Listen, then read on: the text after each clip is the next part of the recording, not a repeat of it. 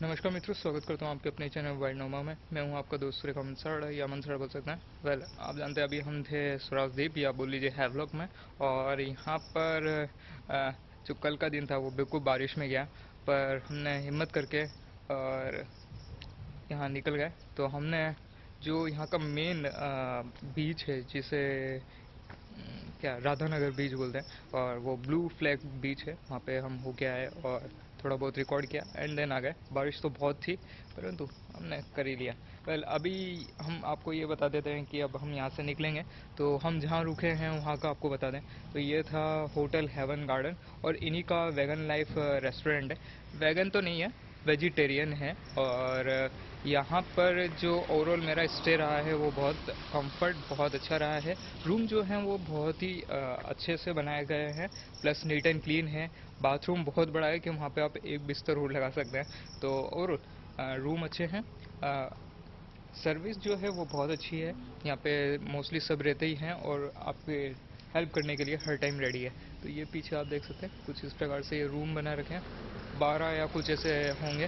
तो ओवरऑल अच्छा स्टे है, खूबसूरत जगह है। जेटी से सिर्फ़ 300 मीटर है तो सबसे मेन चीज़ वही है।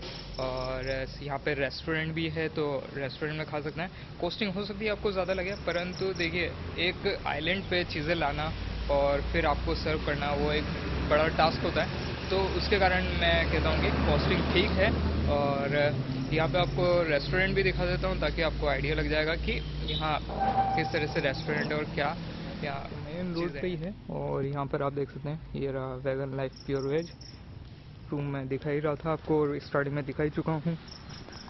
यहाँ पर अभी सुबह की साफ़ सफ़ाई हो रही है।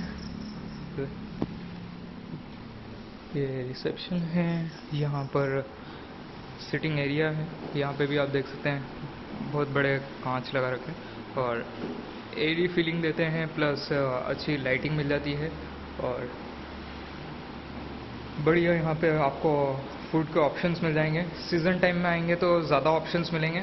अभी सीज़न नहीं है तो कम ऑप्शन देखने को मिलते हैं। परंतु सीज़न टाइम में आएँगे तो आपको ऑप्शन भी देखने को मिलेंगे। प्लस सीज़न टाइम में जो रूम की कॉस्टिंग है, वो भी चेंज हो जाती है। Three thousand five hundred rupees I think so यहाँ पे आपको देखने को मिलेगी।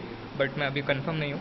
तो और कुछ इस प्रकार से है ये हेवन गार्डन और वैगन लाइफ रेस्टोरेंट और अगर आप आ रहे हैं हैवलॉक या बोल लीजिए स्वराजदीप तो यहाँ पर आप स्टे कर सकते हैं।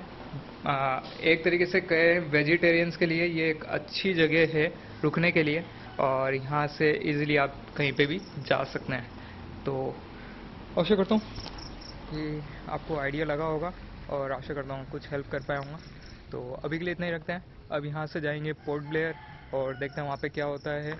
मौसम आप देख सकते हैं ख़राब होना स्टार्ट हो गया। देखिए। तो या, अब हम यहाँ से निकलेंगे और देखते हैं आगे क्या होता है। तो अभी के लिए इतना ही। मैं तो आपका दोस्त सूर्य का मनसाड़ा या मनसाड़ा बोल सकते हैं। भारत माता की जय। जय गौरी शंकर।